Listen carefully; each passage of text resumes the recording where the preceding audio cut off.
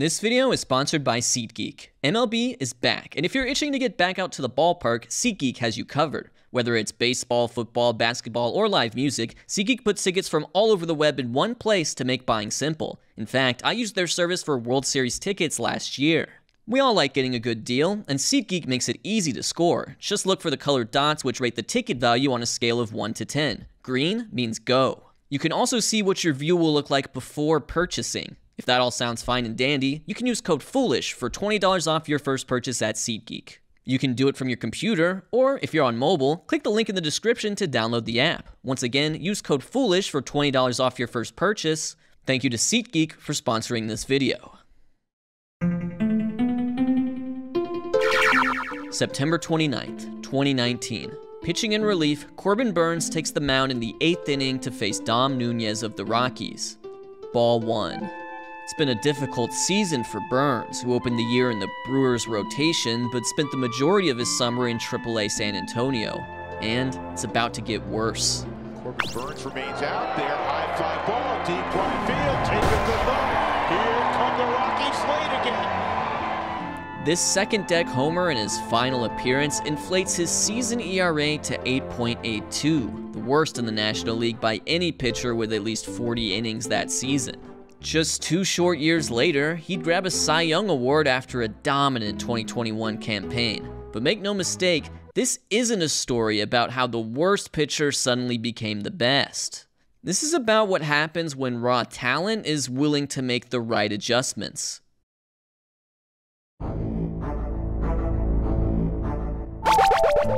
Corbin Burnes might have been the National League's worst pitcher by ERA in 2019, but certainly not by true talent. With a smaller sample size, it would make sense to analyze his peripheral numbers.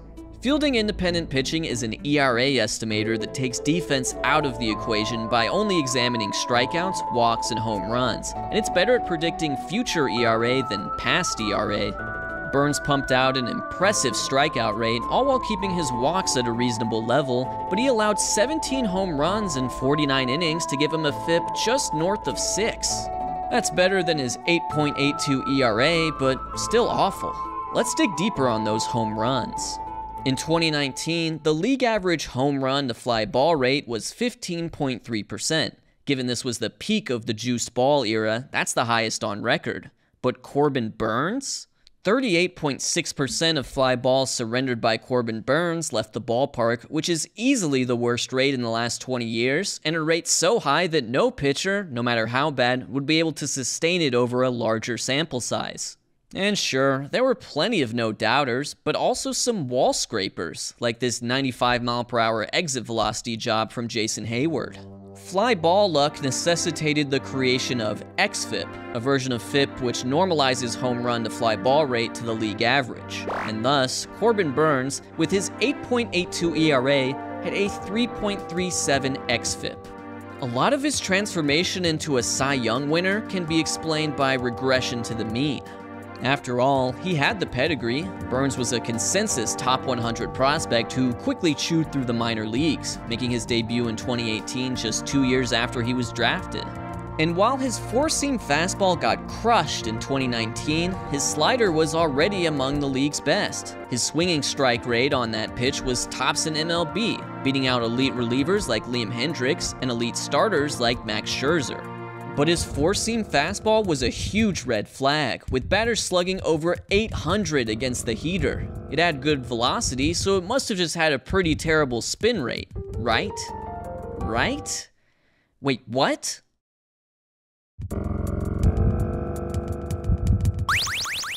How could Corbin Burnes throw the highest spin rate fastball in the league and still get hammered? Spin gives the pitch movement, right? In terms of velocity and RPMs, Burnes' four seam compared favorably to that of Justin Verlander, who won the AL Cy Young that year. A standard four seam fastball relies on the Magnus effect to get swings and misses. The pitch is thrown with backspin, which allows the ball to fight against the force of gravity. This is where the term rising fastball comes from. The ball doesn't actually rise, it just doesn't fall as much as the batter would expect. According to the StatCast leaderboards, Verlander's fastball only had 10.7 inches of drop in 2019, which was best among starting pitchers. Yet Burnes, with a higher velocity and spin rate, somehow threw a flat, hittable fastball that dropped 16.6 inches. That's a difference of half a foot, which could easily be the difference between a bad whiff and a monster home run. Elite spin rate is good, but as Burnes demonstrated, it doesn't always lead to elite movement. An explanation for this discrepancy can be found in the concept of spin efficiency, otherwise known as active spin. Active spin is a measure of the aforementioned Magnus effect, and the Magnus effect only applies to pitches thrown with backspin or topspin, like four-seam fastballs and curveballs. Justin Verlander, ever the poster boy, led the league with a spin efficiency of 98.5%. This means basically all of his spin was going into moving his fastball using the Magnus effect. Corbin Burnes, on the other hand, had a spin efficiency of just 58.5%. His spin rate wasn't being used to its full potential. So if just over half his spin was active, what does inactive spin look like? You can certainly visualize a looping Rich Hill curve thrown with topspin, but that isn't the only way to throw a ball. Imagine a baseball thrown like a football with a tight spiral around one point. The football doesn't move in the air, it flies straight as an arrow. This is called gyrospin, and it doesn't move the baseball on its own, but as the ball travels, some of that gyrospin is eventually converted into what's called side spin. A sudden influx of side spin around the plate creates late, sharp movement on a pitch that initially appeared to be going straight. A good example of this would be Luis Castillo's slider, which is thrown with a lot of spin, but not a lot of spin efficiency. It's almost all gyro. In the case of Corbin Burnes, his Magnus spin and gyro spin were canceling each other out, leading to very little movement at all. But there is a way to make those two forces work in tandem. With a very minor adjustment, his cutter was born.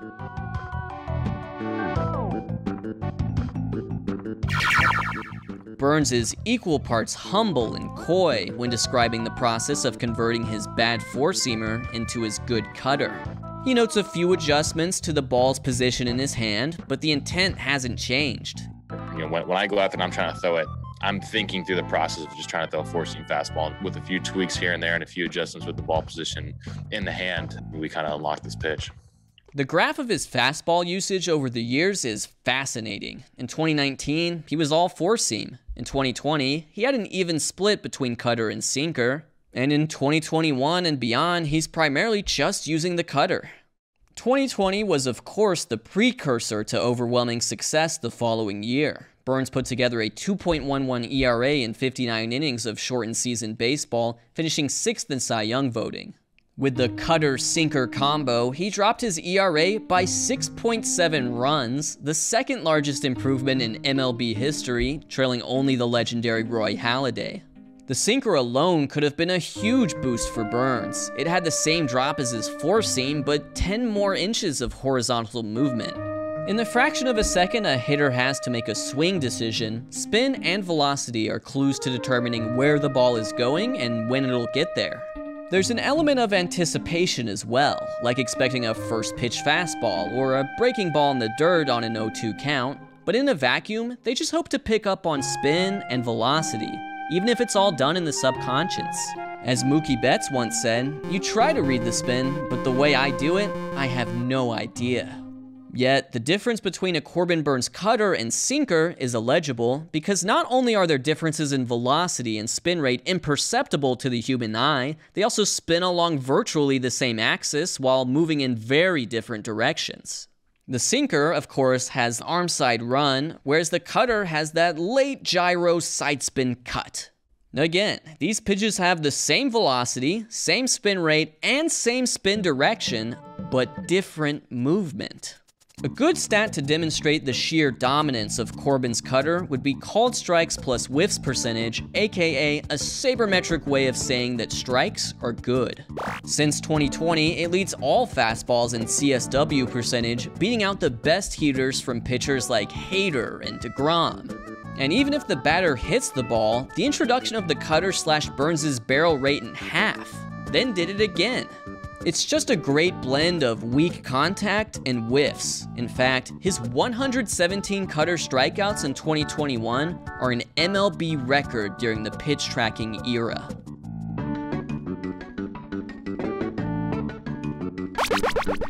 When you think of the cut fastball, there's a couple relievers that jump to mind. One of them is Mariano Rivera, who almost exclusively threw a cutter en route to becoming the greatest reliever of all time. The other is Kenley Jansen, who led all relievers in fWAR from 2011 to 2017 with an 85% cutter usage rate. If you're going to rely on one pitch, the cutter seems to be a good choice. Burnes' offering is ultimately much more comparable to Jansen's. In terms of vertical movement, Rivera's cutter had a lot of drop relative to other fastballs, leading to weak contact, broken bats, and ground balls. Whereas Burnes and Jansen have less drop than expected, leading to swings and misses. Yet, Burnes and Rivera do share a similar road to Damascus moment. Rivera describes the sudden appearance of his cutting action in 1997 as a gift from God. Burnes, meanwhile, pursued a cutter simply because it just kind of dawned on me one day. In 2019, his four seam fastball was 1,216th in run value, tied for last place with plus 24, meaning teams added 24 more runs on him than the average fastball. Just two years later, his cutter was the eighth most valuable pitch in the league. The ratios in strikeouts, walks, and home runs were just plain silly. Burnes had about 7 strikeouts per walk and 33 per home run. In terms of FIP, it was the second best qualified season in the live ball era, trailing only the legendary 1999 campaign of Pedro Martinez. And the source of all this success? A change in fastball usage that looks radical in graph form, but really only amounts to, as Burnes said, a few tweaks here and there and a few adjustments with the ball position in his hand. This says a lot about baseball, a sport where honing the right pitch or making the right swing adjustment can be the difference between major league stardom and minor league burnout. As massively talented as Burnes is, there have been others before him that simply never figured it out. Perhaps the real star of the story is his dreadfully unlucky 2019 season, which saw a 3.37 xFIP turn into an 8.82 ERA. Burnes could have simply looked at the advanced numbers, brushed it off as a bad break, and returned to spring training as a four-seam fastballer. After all, he had plenty of success with that pitch throughout the minors and in his 2018 rookie year. Instead, he used his misfortune as inspiration to do something different, and it has made him one of the absolute top pitchers in the league right now. And the beauty of the data age is we can see exactly how it happened. The advanced metrics revealing his true talent, the reasoning behind the cutter, the drastic change in pitch mix, the different types of spin-induced movement. It's all there to consume thanks to technology that wasn't even in use a decade ago. Hitters are privy to this information as well. They step in the batter's box knowing exactly what Corbin Burnes has up his sleeve. They just can't hit it.